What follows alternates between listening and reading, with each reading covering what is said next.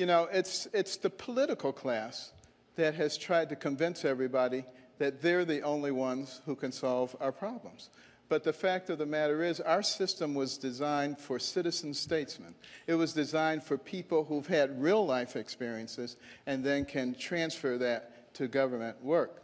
You know, I can guarantee you that I've had more 2 a.m. phone calls than anybody else, all the rest of them put together, had to make life and death decisions, had to derive information frequently from interns or residents who didn't know a lot, but you still got to manage to get the right information, make the right decisions, put together teams, complex teams, to accomplish things that have never before been accomplished before.